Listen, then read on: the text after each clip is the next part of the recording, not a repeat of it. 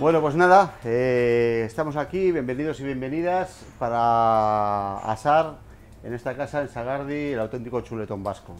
Importante primero una parrilla maravillosa, eh, donde al final yo creo que aquí se junta todo el saber hacer de muchísimos años, no nuestros, sino de parrilleros de toda la vida que en el País Vasco han asado y que poco a poco hemos hecho una herramienta de alta tecnología para mantener la artesanía. ¿vale? Aquí no hay, ya veis que no hay mandos de temperatura, no hay mandos de humedad. Esto es eh, diseño propio, pero aparte, muy importante, eh, hace que el parrillero lo aplique absolutamente todo. O sea, esto es observar mucho el producto, mimarlo mucho y tocarlo muy poco. Pues nada, vamos a usar unos chuletones maravillosos que tenemos aquí. ¿Lo veis? Esto es carne, carne de animal mayor, carne de vaca que tiene que tener, yo creo a partir de los 4 o 5 años, cuando queréis hacerlo en casa, muy importante eh, pedir esa carne, porque al final la ternera es una cosa absolutamente distinta.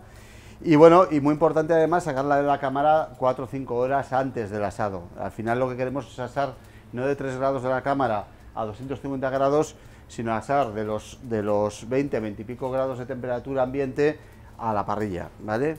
Y nada, directo, sin más, nos vamos aquí. Pues nada, ya yo os diría que sus 8 o 10 minutitos hemos cerrado bien la, carne, ahora la vais a ver. Como veis aquí, está bien sellada. Y ahora sí, es cuando procedemos a salar, ¿vale? Usamos una sal marina, gorda, y os digo, no os dé miedo, echar toda la sal que queráis, porque al final la carne absorbe, una vez ya hemos sellado, absorbe lo que necesita. Luego la limpiaremos, evidentemente, y vamos a tener una carne que ha cogido su puntito maravilloso, porque la sal también se cocina. Ahora lo vamos a ver. Bien, pues nada, como os hemos dicho, le vamos a dar la vuelta. Ya veis otra vez la carne sellada. Volvemos a proceder igual, a volverle a echar sal. Y aquí hemos concentrado, muy importante, hemos concentrado dentro de la chuleta, sellando las dos capas, hemos concentrado todos los jugos de la carne. Vamos a comer una chuleta roja, la vamos a ver sangrante, pero está cocinada. O sea, al final lo que estamos haciendo es concentrar los jugos. Si asamos con mucho menos poder calorífico, con mucho menos fuego, lo que hacemos es asar de dentro hacia afuera. O sea, lo que hacemos es cocer. Y entonces al final perdemos toda la sustancia, todo el sabor de la chuleta. Evidentemente me decís, claro, no todos tenemos en casa una parrilla de estas, está claro, ¿no? Yo os diría que con una buena sartén de hierro en casa, muy caliente, muy caliente, muy caliente, muy caliente. Sin una gota de aceite, sin una, gota de aceite podéis hacer exactamente lo mismo, ¿vale? Pero yo creo que es muy importante eh, entender el cariño que la carne necesita y trabajar con fuego muy fuerte. Al final los jugos nos interesa que se queden dentro.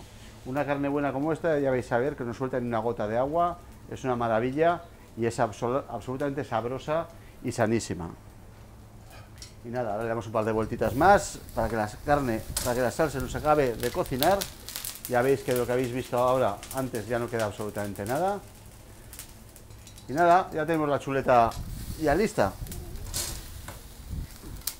Habéis visto que la sal ha desaparecido, a la propia parrilla ha caído todo lo que tiene que caer, lo otro lo ha absorbido la carne y vamos a ver una carne absolutamente sabrosa, jugosa, maravillosa. Y nos escapamos con ella. Aquí está esta maravilla de chuleta. Y nada, y vamos a proceder a presentarla, a ponerla bonita, que al final las cosas tienen, entran evidentemente por el gusto, pero primero entran por la vista, ¿vale? Que hacemos primero es quitarle el hueso, donde está la carne más maravillosa, la mejor carne siempre, siempre, siempre está pegadita al hueso, eso os lo aviso, o sea, cuando veis una chuleta de estas en la mesa y todo el mundo se tira a trozo de carne más rico, vosotros dejarlos, quedaos con el hueso, ¿vale?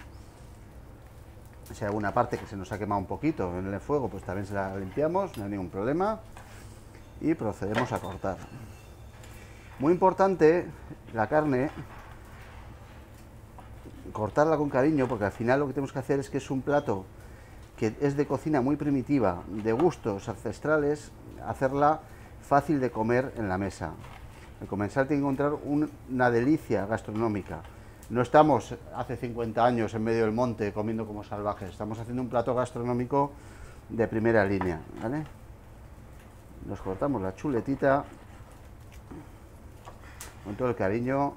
Aquí toda la grasita de la carne se ha fundido, la carne está absolutamente jugosa y nos vamos a montar la chuleta que casi es reconstruir lo que teníamos antes de cortarla. ¿eh? Ahí está.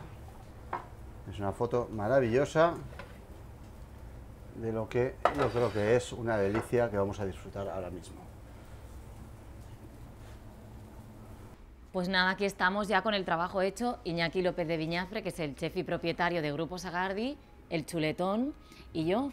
Y nada, cuéntanos Pues nada. cómo tiene que ser el chuletón, ¿no? Para la gente que lo haga en casa, qué aspecto tiene que tener para Pues sí, saber que lo hemos mira, hecho bien. Yo creo un poco lo que hemos explicado antes, pero también entender que tenemos que conseguir esto. Yo creo que nosotros decimos siempre que conseguimos en la chuleta los tres colores, ¿no? Exacto. Decimos la parte tostadita de fuera, justo la línea rosadita y todo el rojo y concentrado de todos los sabores y los jugos en el interior de la chuleta. ¿En boca? Yo creo que esto es la maravilla y en boca lo vas a probar, Hombre, por evidentemente. supuesto.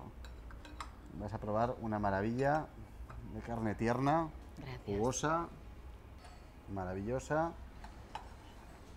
Mira cómo huele, ¿eh? animal natural, bien alimentado, Mm. el toque que le da la parrilla y bueno, y esa textura maravillosa de grasa natural. Yo diría que la vaca buena, bien alimentada, es muy parecido al cerdo ibérico. O sea, al final esa grasa del jamón buena es buenísima, es sana, es saludable, pues esto es exactamente lo mismo. Una maravilla. Bueno, y una copita de vino sí, ¿no? Hombre. Muchas gracias. Pues tomamos nota, Iñaki, a ver si nos quedan Chin, chin. así, en casa. Estáis todos en casa. Gracias.